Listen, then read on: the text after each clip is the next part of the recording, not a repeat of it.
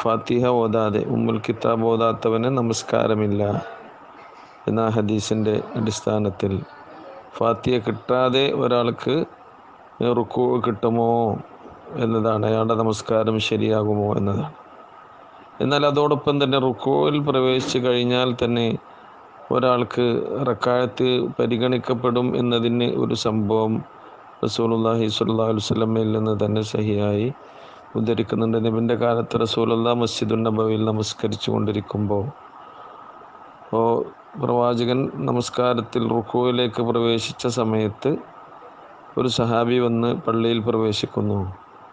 അപ്പോൾ അദ്ദേഹത്തിന് ഈ റുക്കോ നഷ്ടപ്പെടുമോ എന്ന് കരുതി അദ്ദേഹം പള്ളിയിൽ സൊഫിലെത്തുന്നതിന് മുമ്പ് തന്നെ പ്രവേശിച്ച ഉടനെ തന്നെ വാതിൽക്കൽ വെച്ച് തന്നെ അദ്ദേഹം റുക്കോയിലേക്ക് പ്രവേശിക്കുകയും പിന്നീട് റുക്കുവിലായിക്കൊണ്ട് നടന്ന് നടന്ന് നടന്ന് വന്ന് സൊഫിൽ അണിചേരുകയും ചെയ്തു. അങ്ങനെ റസൂലുള്ള സലാം വീട്ടിയതിന് ശേഷം ഈ സംഭവം സഹാബത്ത് പ്രവാചകനോട് പറഞ്ഞു റസൂൽ എങ്ങനെ ഒരാൾ ചെയ്തിട്ടുണ്ട്? സുഫിലെത്തുന്നതിന് മുമ്പ് തന്നെ നമസ്കാരത്തിൽ പ്രവേശിച്ചുകൊണ്ട് റുക്കോയിലായിക്കൊണ്ട് വന്ന് റുക്കോയിൽ ജോയിൻ ചെയ്തു. അങ്ങനെ അദ്ദേഹം സലാം വീട്ടിയിട്ടുണ്ട്. റസൂലുള്ളാഹി സ്വലാ അലൈഹി വസല്ലം ആ സന്ദർഭത്തിൽ പറഞ്ഞു നിങ്ങൾ നമസ്കാരത്തിന്റെ കാര്യത്തിൽ ധൃതിപ്പെടേണ്ടതില്ല. നിങ്ങൾ സാവകാശവും സാവധാനതയും സഖീനത്തും വക്കാറും പാലിക്കണം. അതുകൊണ്ട് നിങ്ങൾക്ക് എത്രയാണോ നമസ്കാരത്തിൽ നിന്ന് ഇമാമിന്റെ കൂടെ നഷ്ടപ്പെട്ടത് അത് പിന്നീട് നിങ്ങൾ പൂർത്തീകരിച്ചാൽ മതിയാകും എന്ന് നബി തിരുമേനി വസല്ലം ഉപദേശിച്ചു. ഈ സംഭവത്തിൽ ഇങ്ങനെ റുക്കുവിൽ വന്ന് ജോയിൻ ചെയ്ത ആ സഹാബിയുടെ നമസ്കാരം. വീണ്ടും റസൂലുള്ള അത് പൂർത്തിയാക്കി ഒരു റക്കാത്ത് കൂടി നമസ്കരിക്കണം എന്നതിലുള്ള നിർദ്ദേശമൊന്നും കൊടുത്തിട്ടില്ല.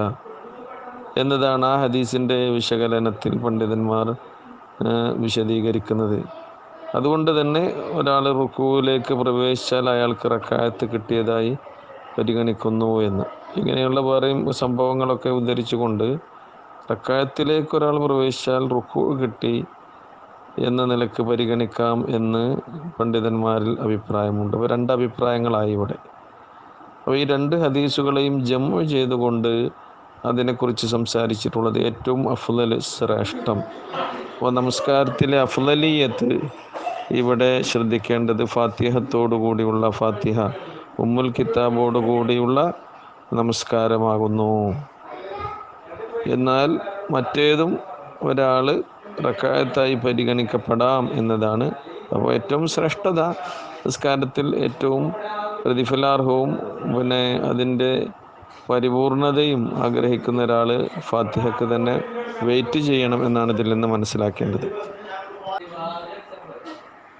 അതേപോലെ തന്നെ മറ്റൊരു കാര്യം ഇവിടെ നമ്മൾ ശ്രദ്ധിക്കേണ്ടത് ഈ രണ്ട് ഹദീസുകളുടെയും ആശയങ്ങൾ നമ്മൾ മനസ്സിലാക്കുമ്പോൾ പിന്നെ സൂക്ഷ്മതയ്ക്ക് വേണ്ടി നമ്മൾ ചെയ്യേണ്ടത് ഇത് റക്കായത്തായി പരിഗണിക്കപ്പെടും എന്നുള്ള അഭിപ്രായം. റുക്കോയിൽ ജോയിൻ ചെയ്താൽ തന്നെ റക്കായത്തായി പരിഗണിക്കപ്പെടും എന്നുള്ള അഭിപ്രായം ഉള്ളതിനാൽ. അഥവാ ഇനി നമ്മൾ പള്ളിയിലേക്ക് പ്രവേശിക്കുന്ന സന്ദർഭത്തിൽ ഇമാം റുക്കുവിലാണെങ്കിൽ ഓടിച്ചെന്ന് റുക്കുവിൽ ജോയിൻ ചെയ്യേണ്ടതില്ല.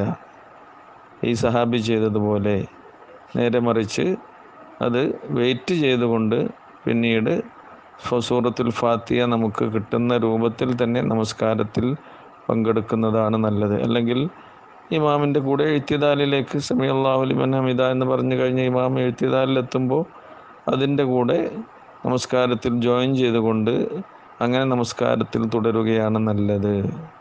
അതല്ല എങ്കിൽ ഇതിനെ നമ്മൾ റക്കായത്തായി പരിഗണിക്കാതെ റുക്കോയിൽ ജോയിൻ ചെയ്യുകയും എന്നിട്ട് റക്കായത്ത് കൂടി പൂർത്തിയായി നമസ്കരിക്കുകയും ചെയ്താൽ നമസ്കാരത്തിൽ റക്കായത്തിന്റെ എണ്ണത്തിൽ വർധനവുണ്ടാകും. അപ്പോൾ നാല് റക്കായത്തുള്ള നമസ്കാരം അഞ്ച് റക്കായത്ത് നമസ്കരിക്കുക എന്നുള്ളത് നമസ്കാരത്തിന്റെ സുഹത്തിനെ ബാധിക്കുന്ന പ്രശ്നമാണ്.